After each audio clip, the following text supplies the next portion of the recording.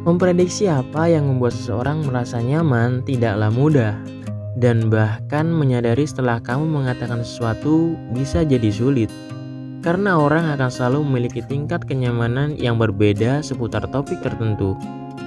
Ketika kamu mencurigai seseorang tidak nyaman atau aman selama percakapan kamu, tidak ada salahnya untuk bertanya kepada mereka dan mengarahkan percakapan ke tempat lain berdasarkan tanggapan mereka. Tetapi, jika kamu ingin meningkatkan interaksi sosial kamu, memperhatikan bahasa tubuh sangatlah penting. Ini dapat memberitahu kamu ketika seseorang merasa santai atau tidak nyaman, dan mengetahui apa yang kamu lakukan menyebabkan ketidaknyamanan mereka dapat membantu kamu menghindari kesalahan yang sama lagi. Langkah pertama dalam mengukur bahasa tubuh seseorang adalah mengetahui apa yang harus dicari. Berikut adalah 10 tanda bahwa seseorang merasa tidak nyaman. Yang pertama, menyentak dan mengernyit. Terjebak dalam situasi yang tidak nyaman sebenarnya dapat menyebabkan seseorang menyerngit atau sedikit bergidik.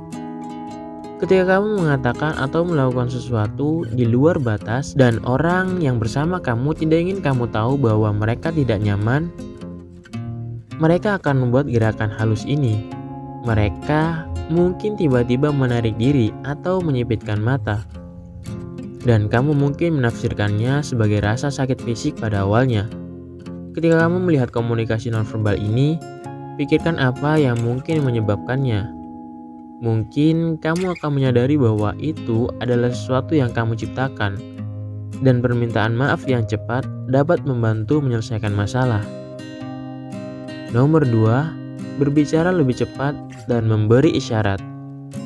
Ketidaknyamanan dapat mengaktifkan respon fight or flight kita, yang berarti peningkatan detak jantung dan pernafasan lebih cepat. Dalam percakapan, ini bisa terlihat seperti seseorang memberi syarat dengan liar atau berbicara lebih cepat dan lebih cepat. Nada bicara yang cepat juga bisa menjadi upaya untuk mengakhiri percakapan lebih cepat. Jika kamu memperhatikan hal ini, mungkin itu bukan sepenuhnya salah kamu Terkadang, orang mulai merasa tidak nyaman secara umum jika percakapan berlarut-larut atau jika mereka mengalami kecemasan sosial. Nomor 3, menggaruk. Misalkan kamu berada di luar dan orang yang bersama kamu mulai menggaruk gigitan nyamuk. Dalam kasus ini tidak ada yang luar biasa tentang gatal mereka. Tetapi jika tidak ada penjelasan yang masuk akal, Menggaruk bisa menjadi tanda ketidaknyamanan. Perhatikan sinyal tubuh ini, terutama jika itu datang setelah kamu mengatakan sesuatu. Menggaruk di sekitar telinga khususnya sering kali merupakan tanda bahwa seseorang tidak setuju dengan kamu, tetapi tidak ingin mengungkapkan pikiran mereka secara verbal.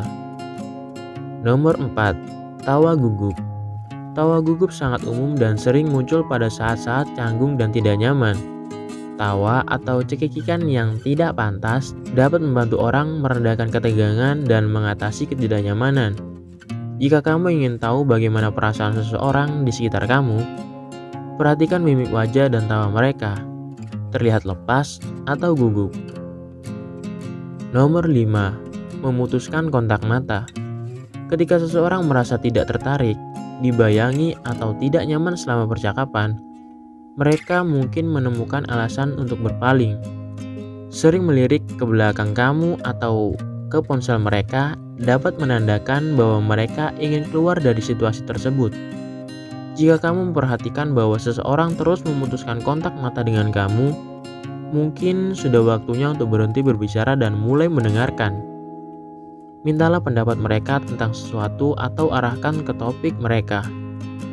Kemudian, pastikan untuk mendengarkan tanpa menyela. Tanggapan mereka akan menunjukkan pada kamu apakah mereka ingin terus berbicara dengan kamu atau tidak. Nomor 6. Jawaban satu kata. Tidak jarang menemukan diri kamu berbicara dengan seseorang yang memberikan jawaban satu kata, dan itu bisa membuat mereka secara tidak sengaja merasa tidak nyaman. Jawaban yang paling mungkin adalah kamu menyentuh topik yang membuat mereka merasa malu, tersinggung, atau tidak tahu apa-apa. Dalam keadaan ini, penting untuk melihat gambaran besarnya. Mungkin sudah waktunya untuk mengakhiri percakapan. Nomor 7. Menenangkan diri sendiri. Apakah kamu memiliki kebiasaan gugup seperti mengayunkan kaki, memainkan rambut, atau menggigit kuku? Mungkin tidak mengherankan jika orang lain juga melakukannya. Orang-orang melakukan tindakan ini sebagai cara untuk menenangkan diri, dan jika kamu membuat seseorang merasa tidak nyaman, kamu mungkin melihat mereka jatuh ke dalam kebiasaan gugup. Seringkali kebiasaan menenangkan diri terjadi secara tidak sadar, dan orang yang kamu ajak bicara mungkin bahkan tidak mengenali perasaan mereka. Awasi perilaku gelisah seperti bermain dengan anting-anting menggosok leher mereka, atau mengutak-atik pakaian atau benda lain. Jika kamu melihat seseorang bertindak seperti ini, pertimbangkan apa yang kamu katakan dan bagaimana hal itu dapat mempengaruhi mereka. Apakah topik tersebut menyinggung atau memicu kecemasan? Jika menurut kamu mungkin, cobalah alihkan percakapan ke hal yang tidak terlalu bertentangan. Nomor 8. Telinga merah. Apakah kamu tersipu ketika kamu merasa malu? Mungkin kamu melakukannya, atau mungkin kamu mengenal seseorang yang melakukannya. Orang sering menjadi merah di wajah mereka ketika mereka merasa gugup atau tidak nyaman. Namun, terkadang perona pipi yang gugup bisa jadi tidak kentara dan hanya mempengaruhi telinga.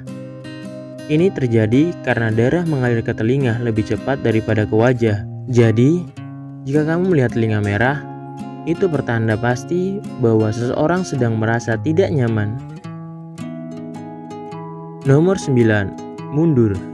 Mundur atau menjauh adalah sinyal bahwa sadar yang umum bahwa kamu tidak ingin berada di dekat sesuatu atau seseorang. Jika seseorang menjauh dari kamu, itu pertanda bahwa mereka tidak nyaman. Jika mereka tidak bisa menjauh, mereka mungkin akan berbalik atau membuat penghalang dengan menyilangkan tangan atau kaki mereka. Perilaku ini adalah bentuk pemblokiran bawah sadar yang membantu kita melindungi diri kita sendiri. Jika kamu menyadarinya, jangan terlalu khawatir. Itu bisa berarti bahwa kamu melangkah terlalu jauh ke dalam ruang pribadi orang lain. Mundurlah selangkah dan lihat apakah ada ruang yang memberi mereka kenyamanan. Ketika harus menentukan bagaimana perasaan orang lain, isyarat nonverbal adalah hal terbaik berikutnya untuk sekedar bertanya. Terkadang, orang merasa tidak nyaman karena keyakinan, pengalaman, atau bias pribadi mereka. Dan jika kamu belum mengetahui pemicu spesifiknya, hampir tidak mungkin untuk menebak bagaimana reaksi mereka. Jika kamu menyadari bahwa kamu adalah sumber dari beberapa tingkat ketidaknyamanan, yang perlu kamu lakukan untuk membuat seseorang merasa lebih baik adalah memberi mereka ruang dan permintaan maaf. Ingatlah bahwa emosi orang lain bukanlah tanggung jawab kamu, dan membuat orang lain merasa nyaman tidak selalu yang terbaik atau hal yang benar untuk dilakukan. Terutama jika mereka memiliki masalah dengan ekspresi diri atau keaslian kamu. Perhatikan bagaimana kamu mempengaruhi emosi orang lain, tetapi jangan pernah mengorbankan kejujuran pada diri sendiri. Sekian video kali ini, bahagia untuk kalian semua. Terima kasih.